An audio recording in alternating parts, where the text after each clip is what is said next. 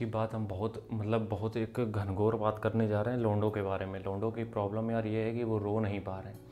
और रो ना पाने की वजह से उनके अंदर इमोशन इतना भरता चला जा रहा है कि वो एनजाइटी और डिप्रेशन में बदलता चला जा रहा है। तो ये मेरे, मेरी जो बात है वो लोंडो के साथ है।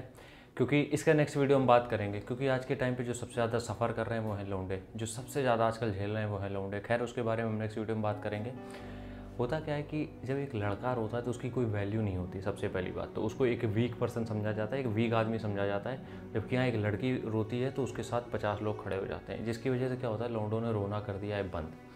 अब होता क्या है इससे कि हम लोग इसमें अंदर ही अंदर अपने इमोशन को छुपा रहे हैं, चीज़ें छुपा रहे हैं, क्योंकि लौंडे डेली बेसिस पे जो झेल रहे हैं ना, कसम से फटी पड़ी उनकी। हमें पता है, हमें सबकी सिचुएशन पता है, क्योंकि मेरे साथ बहुत लोग जुड़े हैं ऑनलाइन प्लेटफॉर्म पे, बहुत। ठीक है? तो उनकी उनसे जब मेरी बात होती है ना तो हमें दुख होता है कि साला हम हम तो बिल्कुल चिल हैं फिर इनकी लाइफ में अगर इतनी दिक्कत है तो। तो हम तुम लोगों से कह रहे हैं जब मर्ज़ी किया करे रो लिया। इसमें कोई कमज़ोरी नहीं है कोई वीकनेस नहीं है जबकि अगर तुमने ये रो के आँसू बहा दिए तो ये तुम्हारी स्ट्रेंथ है। समझो मेरी बात को ये जब रो देते हो तो उसके बाद चीज़ें हल्की हो जाती हैं कुछ चीज़ें तुम्हारी आ, समझ में आने लगती है कि हाँ यार अब रो दिया है इमोशन बाहर हो गए क्योंकि क्या होता है अगर तुम बार बार किसी से चीज़ें अपनी डिस्कस करने जाओगे, जो भी तुम प्रॉब्लम फेस कर रहे हो, वो चीज़ें अगर बार बार डिस्कस करने जाओगे तो यकीन मानो कहीं ना कहीं तुम्हें प्रॉब्लम होगी। क्यों? सामने वाला फिर समझने लगेगा, ये चूतिया है। क्यों? ये डेली अपनी एक प्रॉब्लम लेके चला आता है तो सामने वाला तुमसे कटने लगेगा। इससे अच्छा ये है, जितनी तकलीफ़ है, जितना जो कुछ है, बंद कमरे में रो लो, जितना मन करे। जितना मन करे रो लो, क्योंकि बाहर कहीं भी रोगे, मौज है, मज़ाक है, और वीक समझा जाएगा, सारी चीज़ें होंगी। इससे अच्छा है, कमरा बंद करके जितनी मर्ज़ी रो लो।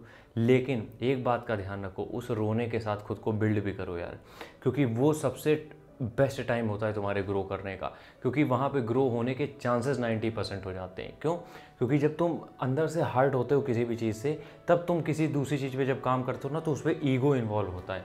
और जब कहीं पे ईगो अच्छी जगह पे लग जाता है तो वो काम आप फोड़ देते हो, कैसे ना कैसे करके। इसलिए जब भी ऐसा लगे कि लो फील कर रहे हो, जब भी ऐसा लगे कुछ नहीं सही चल रहा है रो जितना मर्ज़ी उतना रो ले कोई दिक्कत नहीं, कोई कमज़ोरी नहीं, कोई कुछ नहीं, हमने खूब किया ठीक है? लेकिन कोशिश ये करो, रोने में इतना मतलब वो मरने ना लगो, बिल्कुल वो ना हो जाओ कि उसके बाद तुमसे कुछ हो ही ना। क्योंकि वो जब तुम्हारा सबसे लो टाइम होगा, वहीं पे सबसे बड़ी अपॉर्चुनिटी होगी कुछ ग्रो करने की। सबसे बड़ी अपॉर्चुनिटी होगी कि जहाँ से तुम ग्रो कर पाओगे, ठीक है? इसलिए दबा के रो, जितना मर्ज़ी उतना रो, चिल्ला चिल्ला के रो, जैसे रोना है रो रो के एक बार इमोशन अपने बाहर कर दो, उसके बाद पूरी तरीके से फुल फोकस हो के साथ सारी चीज़ें ऑन पॉइंट करने की ज़रूरत है तुम्हें। और ये लोंडो को खासकर ज़रूरत है क्योंकि आजकल बहुत फटी पड़ी है तुम लोगों की, हमें पता है। इसलिए बिल्कुल चिल मार के रो। राम राम, जय हिंद।